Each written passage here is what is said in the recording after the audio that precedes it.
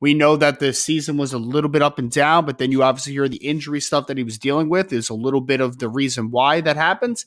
Then he was the Senior Bowl, Joe, and I think that people are like, they're all mystified. They're like, oh my God, he can push the pocket, he can rush the passer. It's just like, guys, he was played as a zero tech at Wisconsin. How much p- penetration did you want him to play in that three man front? Like, that wasn't going to be a role that he assumed in college.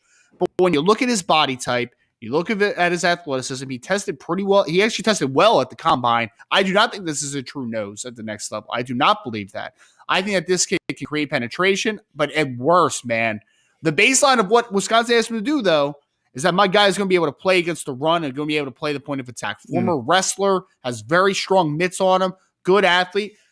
I just think that he hasn't he has untapped upside.